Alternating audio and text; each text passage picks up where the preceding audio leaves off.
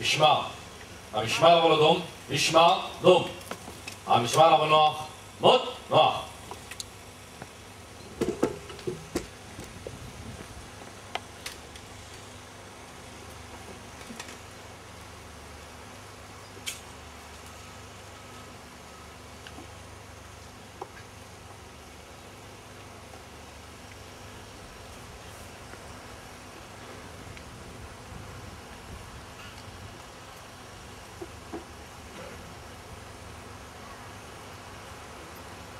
הטקס יתחיל בעוד שתי דקות.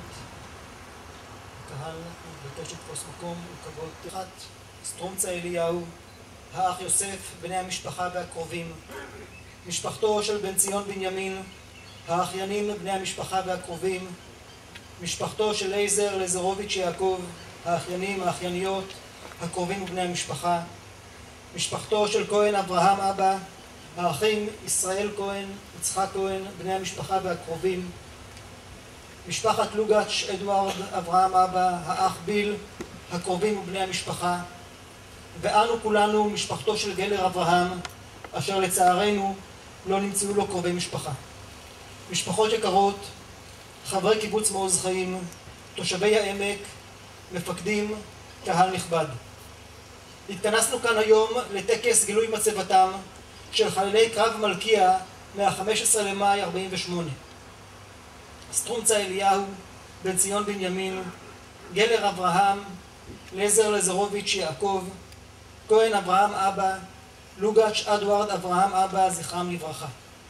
אשר היו עד עתה בחזקת חללים שמקום קבורתם לא נודע, ומעתה מקום קבורתם נודע. כאן, בקבר האחים של חללי קרב מלכיה, במעוז חיים. אירוע זה הינו תוצאה בשילוב של שתי חקירות אשר התנהלו בענף איתור נעדרים בצה"ל. חקירה אחת אשר עסקה באיתור מקום קבורתם של חיילי הגדוד הראשון של הפלמ"ח, סטרומצה אליהו, בן ציון בנימין, גלר אברהם ולייזר לזרוביץ' יעקב.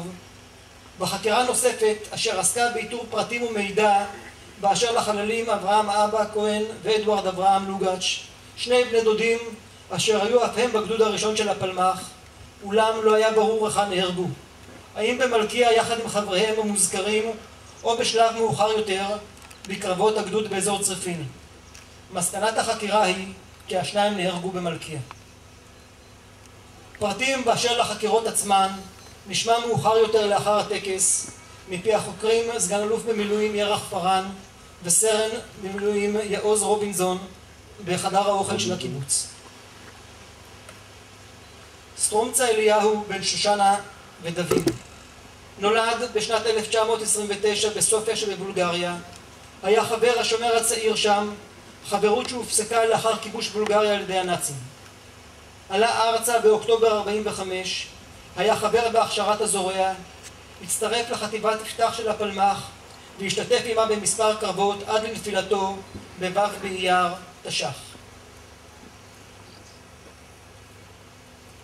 בן ציון בנימין, בן סולטנה ומיקו, נולד בשנת 1929 בפלבן שבבולגריה.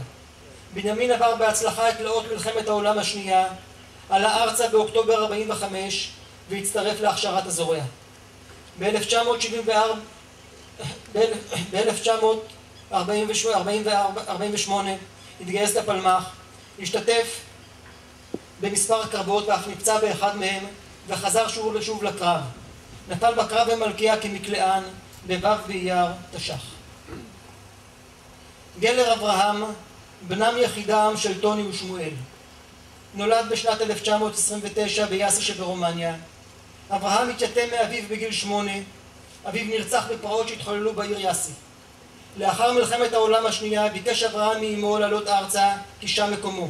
הוא בן 16 עלה ארצה ושהה בקיבוץ מסילות ובהמשך התגייס לפלמ"ח. אמו עלתה ארצה וביקשה ממנו כי יתנדב ליחידה קלה יותר, אולם הוא לא הסכים לנצל את זכותו לשירות קל יותר, וטען שישנם רבים אחרי המלחמה שהם, שהם בנים יחידים, ועליו לשרת המדינה באופן המיטבי. אברהם נפל כאמור בקרב על מלכיה בו' באייר תש"ח. לזר לזרוביץ' יעקב, בן חיה, שרה וישראל. נולד בשנת 1928 בסוליצה שברומניה. עלה ארצה בשנת 45' והצטרף להכשרת מסילות. הצטרף לשירות הפלמ"ח בחטיבת יפתח ולחם באומץ לב ועוז רוח. לחם עם גדודו במלכיה במטרה לבלום את כוחות, את כוחות האויב ונפל בו' באייר תש"ח. כהן אברהם אבא הרווי בן פסיה ודוד נולד בשנת 1929 בקנדה בימים הסוערים של מלחמת העצמאות החליט לעלות ארצה יחד עם בן דודו לוגאץ' אדוארד אברהם אבא בן שפרה ויעקב אשר היה צעיר ממנו בשנה. השניים עלו ארצה בחול המועד פסח תש"ח וכעבור מספר ימים התגייסו לפלמ"ח. מהחקירה עולה כי השניים נהרגו כשלושה שבועות בלבד לאחר שעלו ארצה בו' באייר בקרב על מלכיה. מעיקרי החקירה עולה כי באזור מלכיה היו מספר קרבות משמעותיים. בלילה שבין ה-14 ל-15 למאי עלה הגדוד הראשון של הפלמ"ח וכבש לאזור מלכיה. אולם לאחר מספר שעות בקרב עם הצבא הלבנוני בסיוע כוחות מצבא סוריה וצבא ההצלה נפגעו כ-120 מחיילי הגדוד מתוך כ-600 חיילים. ואז החלה נסיגה של הכוחות מאזור מלכיה. מרבית חיילי הגדוד סחבו בנסיגה את הפצועים והנפגעים ויש חיילים שעשו דרך זו פעמיים אולם בסופו של דבר נשארו בשטח חלק גדול מחללי הקרב. ב-28 למאי 48, שבועיים מאוחר יותר, שב הגדוד הראשון של הפלמ"ח וכבש את אזור מלכיה. חיילי הגדוד חיפשו ואיתרו את מקום גופות חבריהם, אשר נאספו בשני מערומים על ידי הערבים לאחר הקרב הראשון. בשל מצב החללים ואי היכולת לזהותם, התבקשו החיילים להשאיר את הטיפול בחללים לאנשי מקצוע ולהתרכז בהתחפרות והגנה עצמית. החללים כוסו בשכבת, בשכבת עפר דקה והמערומים סומנו על ידי החיילים. ב-1 ליוני 48 ירד הגדוד הראשון לאזור צריפין, חיילי חטיבת עודד החליפו את הגדוד. בשלישי ביוני נכבש האזור על ידי הערבים עד סוף אוקטובר. באוקטובר 48, במסגרת מבצע חירם, שבנו וכבשנו את המקום מאז ועד עתה. ב-17 בנובמבר 48 עלו לאזור מלכיה חלק ממשפחות החללים, חברי הכשרת מעוז, יחד עם מספר חיילים. ערכו חיפוש במקום והגיעו למערומים בהם היו החללים מהקרב של ה-15 במאי. בני המשפחות אספו את שרידי החללים והביאום לקבורה בקבר אחים במעוז חיים. על הקבר במעוז חיים צוינו שמותיהם של עשרה חללים.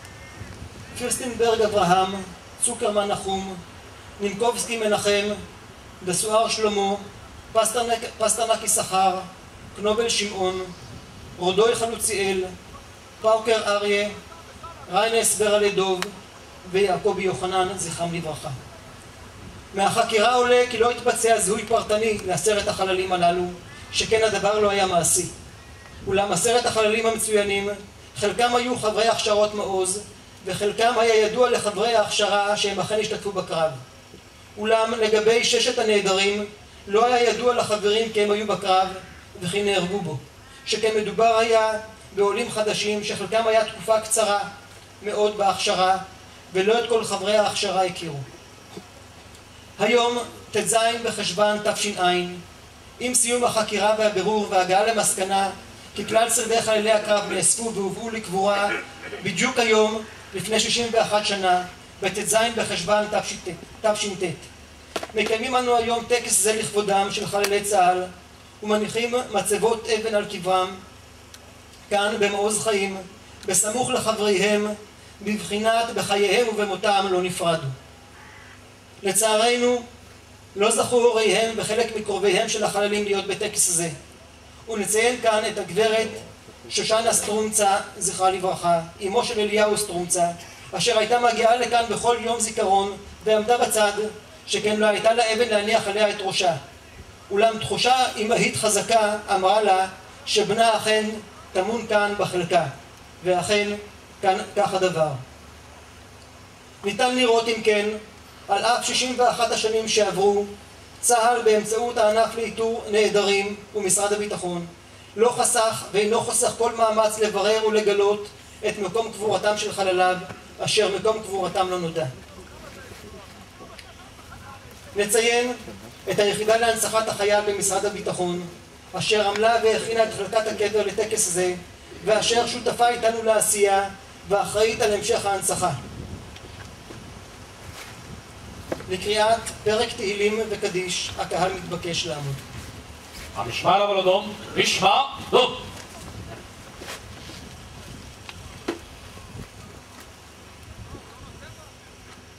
פרק פ"ג בתהילים. שיר מזמור לאסף. אלוהים על אדומי לך אל תחרש ואל תשקוט אל. כי הנה אויביך יהמיון ומשנאיך נשאו ראש. על עמך יערימו סוד ויתייעצו על צפוניך אמרו לכו ונכחידי מגוי ולא ייזכר שם ישראל עוד כי נועצו לב יחדיו עליך ברית יכרותו אוהלי אדום וישמעאלים, מואב והגרים, גבל ועמון ועמלק, פלשת עם יושבי צור. גם אשור נלווה עמם, היו זרוע לבני לא צלע.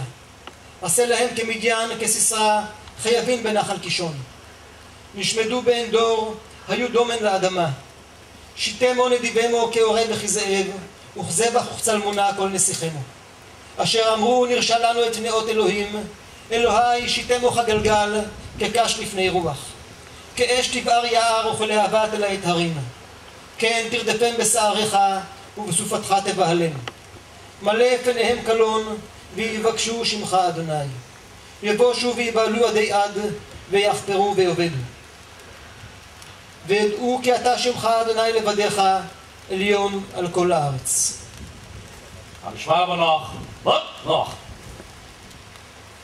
קדיש מפי האחים מר יוסף סטרומצה, אחיו של אליהו סטרומצה, זכרו לברכה, ישראל ויצחק כהן, אחיו של כהן אברהם אבא, זכרו לברכה, מר בן ציון גוידל, גיסו של לייזר יעקב, זכרו לברכה, מר קובי בן ציון, אחיינו של בן ציון בנימין, זכרו לברכה. המשמר אבל נוח, מות, נוח.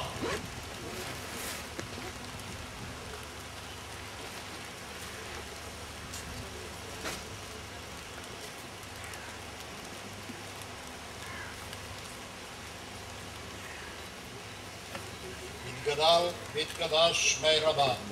ועל מה דיברה חירותי, והמליך מלכותי, ויצמח פורקני, ויקרף משיחי. וחייכון ובימכון, וחיי דכל בית ישראל, וגלר בזמן קריב ואמרו אמן. יהיה שמי רבה מבורך לעלם לעולמיה. יתברך וישתבח ויתפאר ויתרומם ויתנשא ויתהדר ויתעלה ויתהלל שמי דקודשה בריחו ואלה מכל ברכתה תושבחתה נחמתה לאמרם ועל מה ואמרו אמן על ישראל ועל רבנן ועל תלמידי כל ישראל ועל רבנן להסכים בראותה קדושתה לבטרה מכל אתר ואתר. יהיה לנו לחון חסדי ורחמי חיי עריכה מיני רוחי מן קדם מראה שמיה והרע ויהיו אמן. יהיה שלמה רבה מן שמיה, חיים וצבא וישועה ונחמה ושזפה רפואה, גאולה, סליחה, כפרה ורווח והצלה. לנו לכל עמו ישראל ואמרו אמן. עושה שלום במרומיו, והוא ברחמיו.